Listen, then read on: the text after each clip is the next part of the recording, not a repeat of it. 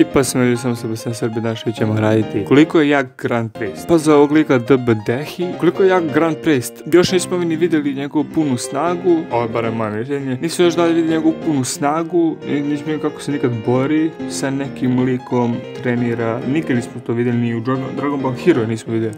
A bi da vidimo Dragon Ball Hero barem tamo da vidimo, a ne u Superu, pošto je Dragon Ball Hero not canon. Vidimo da smo, vidjeli u, mangi, to je ne bilo u animeu, da je zaustavio onog uh, iz univerzuma 4, ja mislim, i Biru sa, jednim prstom. A njih dva je možda koristili 50%, možda više od 50% svoje snage, a on, on ih zaustavi sa jednim prstom. Liko je možda ne koristi ni, ni 1% snage. Sad zamislite njega u full poweru, ja mislim da to niko neće da ga, da ga natjela da, da, da iskoristi toku moć, zato nema ko jači od njega, tako da on je možda najjači. Možda oni čuvari, ali ima tu, znači dele prvo mjesto ili čuvari od Zenoa ili Grand Prix, neko deli njih dvoje prvo mjesto. Ne, ne znam ljudi koliko je zapravo zao Grand Prix, zato što mi nikad nismo vidjeli sa kim se bori, osim da je zaustavio sa jednim prstom Birusa i ovog boga iz univerzuma 4.